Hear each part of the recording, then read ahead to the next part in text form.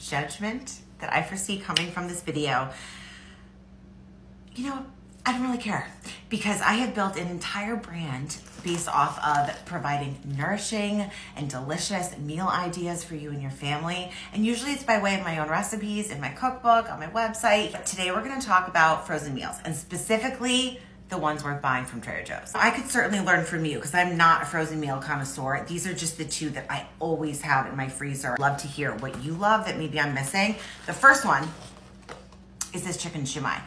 This my kids will fight over these like it's candy. It is the easiest dinner ever. Super high protein too. I think it's 33 grams of protein in one box. Yep, and 11 grams per serving. I will do two of these boxes and then I will serve it with rice and just some steamed edamame in the microwave. I throw out the little sauce packet that comes with it and I just serve it with soy sauce.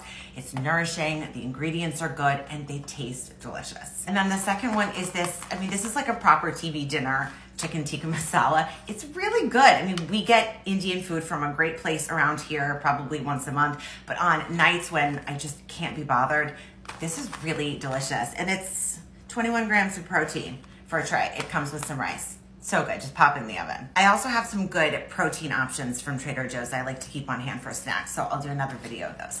Hope it's helpful.